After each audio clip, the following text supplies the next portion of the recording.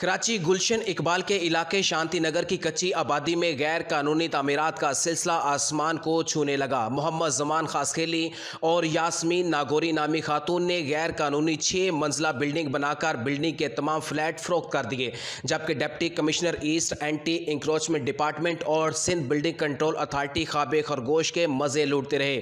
जरा ने बताया कि मोहम्मद जमान खासखेली और यासमीन नागोरी नामी खातून ने अपने दीगर साथियों के हमरा मिलकर छः सौ स्क्वेयर फुट के सरकारी प्लाट पर कब्जा किया और ना सिर्फ़ छः मंजिला गैर कानूनी बिल्डिंग बना डाली, बल्कि इस बिल्डिंग को बाकायदा तौर पर शाल तीफ सेंटर का नाम भी दिया गया।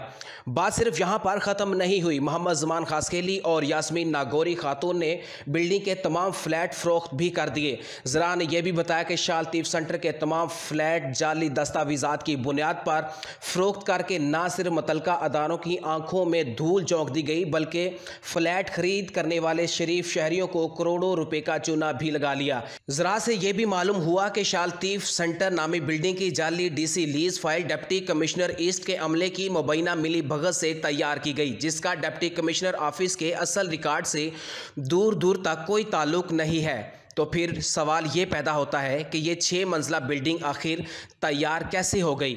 बिल्डिंग की दौरान तैयारी DC east anti encroachment department और सिंध बिल्डिंग कंट्रोल अथॉरिटी ने भंग पी रखी थी या गफलत की नींद सो रहे थे या फिर इस गैर कानूनी बिल्डिंग की इजाज़त के एवज भारी रिश्वत तलब कर रखी थी।